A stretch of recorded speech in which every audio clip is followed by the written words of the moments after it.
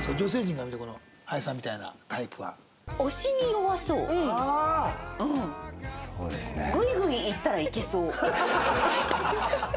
どうですか実際は？割と積極的に来られると好意持たれてるんだなってすぐ勘違いしてしまうタイプ。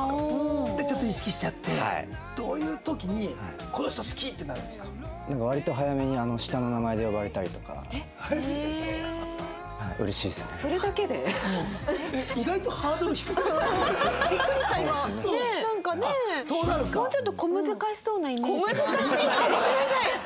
なんていうかなんていうかね